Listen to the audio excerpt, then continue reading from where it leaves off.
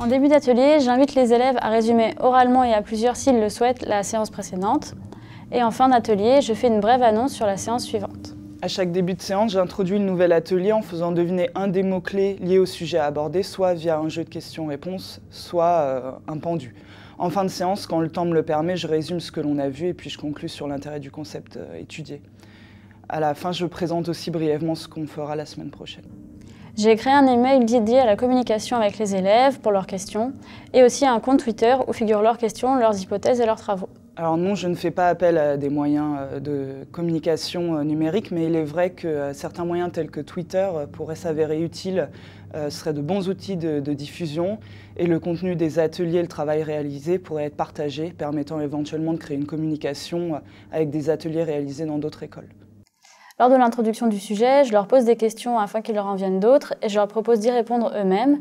Je leur explique qu'ils sont à la tête d'un projet de recherche et que celui-ci avancera par leurs questions et leurs expériences. Il est important, mais il est difficile de capter l'attention des élèves tout au long d'un atelier. J'essaye de faire travailler par petits groupes de quatre ou en binôme selon l'activité. Je les fais venir au tableau pour présenter leurs résultats aux autres membres de la classe. J'essaye également de leur faire retenir les concepts scientifiques de manière ludique. Par exemple, euh, afin de comprendre l'importance de l'ADN, ils doivent déchiffrer une partie du code qui est porté par cet ADN.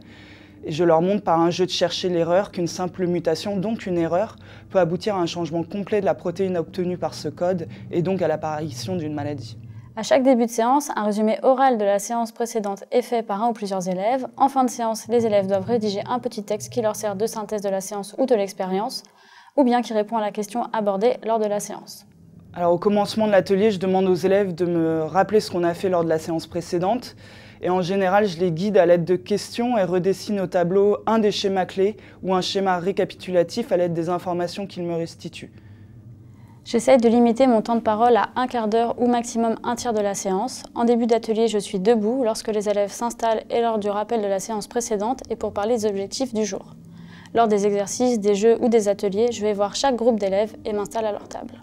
Je me tiens toujours debout dès le départ, à hauteur du tableau, où je vais parler et introduire le sujet pendant une dizaine de minutes de manière brève mais claire pour garder l'attention des élèves. Puis je laisse rapidement place aux activités, aux jeux et aux expériences en circulant entre les rangs pour aider et répondre aux questions des élèves. Et enfin, je retourne au tableau pour reprendre la parole et conclure sur la séance.